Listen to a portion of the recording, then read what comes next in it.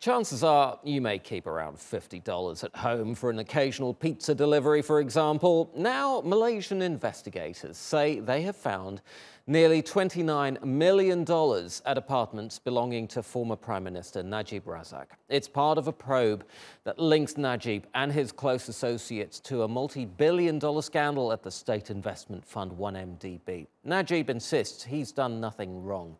The government of new Prime Minister Mahathir Mohamad, who won a shock election victory on May the 9th, says it'll repay everything 1MDB owes. Clare Rewcastle Brown is the editor and founder of Sarawak Report. It's an investigative website focused on Malaysia and was among the first news outlets to highlight the massive amounts of money that went missing from One Malaysia Development Berhad. And she joins us now from London. Clare, it's great to have you on the show. Um, uh, tell us what your connection is to Malaysia and how you came about the 1MDB story in the first place.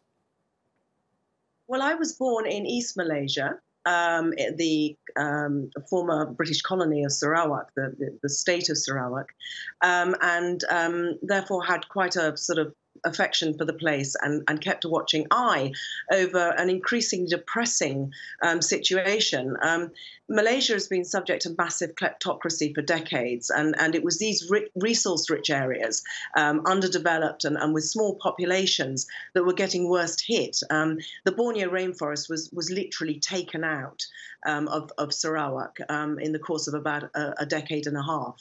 Um, and um, I started looking at that as a journalist, trying to bring it to wider opinion, and uh, and discovered, of course, that the root cause of this was um, was corruption. Um, the uh, decisions being made um, were being made for the personal enrichment of a handful of people, as opposed to the general mm. good. Uh, so, how did 1MDB come about then? Well, um, I first started looking at um, corruption in those states of Sabah and Sarawak in East Malaysia. Um, found that despite um, the fact that we I'd done a lot of work on that and, and brought a lot of, um, in fact, the, the Malaysian Anti-Corruption Commission um, came in after some of the articles that I wrote and, and, and performed comprehensive reports on both those states. Nothing was being done.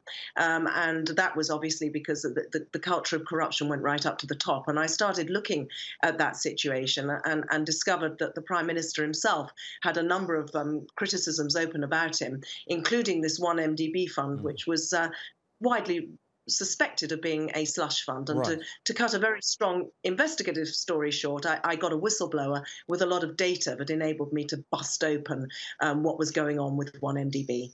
Right. Clare, do you think that uh, the government of Mahathir Mohamad is going about this investigation the right way? Yes, I think so. I mean, um, it, has been a sort of sea change of, of, Malaysian politics. I mean, there was endemic corruption, but but what Najib and his very profligate wife Rosmah, as, as you can uh, deduce from these vast sums of money that were found in their house, they, they'd taken the whole thing onto a very new and shocking level for Malaysians, and and, and I and others were, were bringing that out, and, and the 1MDB scandal showed how Rosmah had been using this stolen money to buy herself hundreds of millions of dollars worth of diamonds, and there were yachts, um, super yachts were being bought, um, the Wolf of Wall Street finance massive, massive expenditure of billions of dollars. It's the biggest global kleptocracy um, investigation being conducted by the United States and elsewhere at the moment.